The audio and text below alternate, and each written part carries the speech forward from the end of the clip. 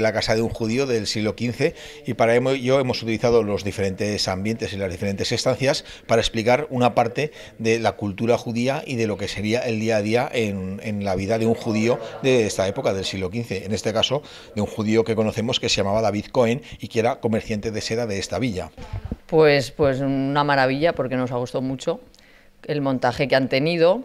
los olores que aquí no se pueden ver pero es una maravilla, todo lo que estamos viendo que no conocíamos y esta casa que la teníamos aquí un poco abandonada y,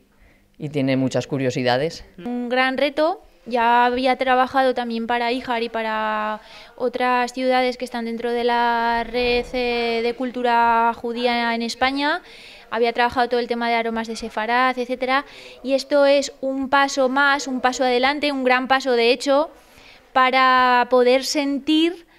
y vivir eh, cómo sería el día a día de, la cultura judía y teletransportarnos en el espacio y en, el tiempo, porque ese es el gran poder que tiene el olfato. En esta planta hemos explicado todo lo que marca el ciclo de la vida de un judío, desde el nacimiento, pasando por la boda, eh, cuando estaba enfermo, qué ocurría, como podemos ver en el ritual de las goticas, o qué ocurría cuando llegaba el momento que todos algún día llegaremos, que es el momento del deceso. Todo lo hemos explicado y además lo hemos acompañado con imágenes y con eh, objetos que el culto diario que se hacía también dentro de la casa, porque todo no se hacía en la sinagoga, había muchas cosas que se hacían en la casa. Como te lo explica también Almohayat, pues te vas enterando de muchas muchas cosas que tienen que ver con lo que nosotros hacemos ahora, nuestras tradiciones y nuestra vida cotidiana y no sabes de dónde viene. Entonces ahora te vas enterando de muchas cosas. Pues sabemos que está el barrio judío, que lo tenemos aquí muy presente, pero también tenemos que motivarlo un poco y reformar todo lo que está un poco deteriorado. Mm. Entonces seguimos